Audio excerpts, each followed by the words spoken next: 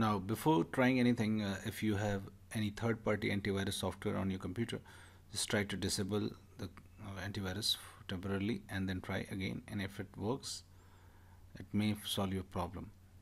Now, if it doesn't work, let's move to the first method. Just right click on your start button, click on run, and then type excel slash safe.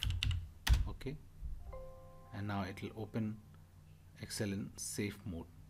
Now if this also does not fixes your problem let's move to the second method and that is just open excel either normally or in safe mode as described in the first method. And now,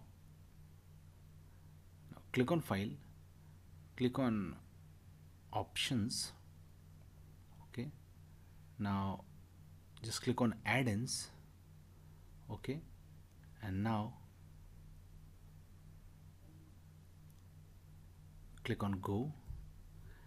And you know if there are any add-ins added to the excel try to remove them and disable them okay? Try to disable all the add-ins okay?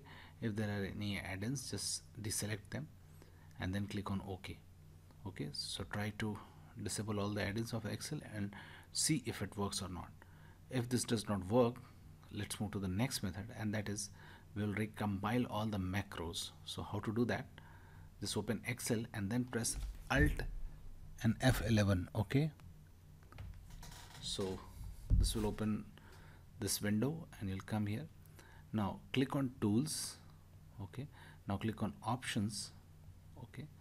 And now click go to general tab and just uncheck this compile on demand now click on OK and then close the window.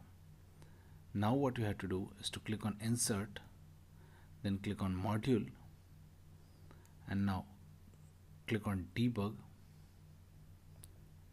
and click on compile VBA project okay now click on file and now click on save okay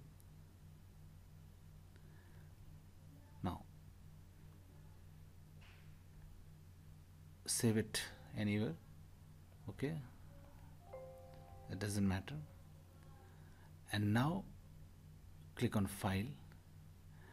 And now click on close and return to Microsoft Excel.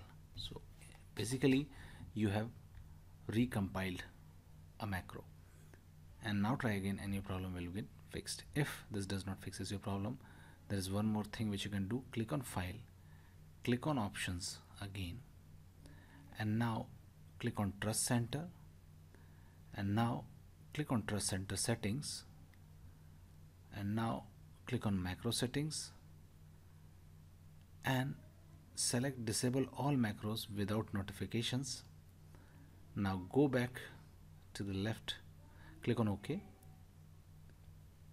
And now click on trusted documents. And now uncheck this allow documents on a network to be trusted and check this disable trusted documents. And now click on OK and close it. And now try again and your problem will be fixed. If this also does not fixes your problem there's one more thing which you can do is to click on start button. Click on gear shift icon to open setting. Click on time and language and make sure that your region is correct here okay? In the left menu just click on region and make sure that correct region is listed here okay? This is also sometimes the source of the problem. So that's it guys. Please do like the video to support us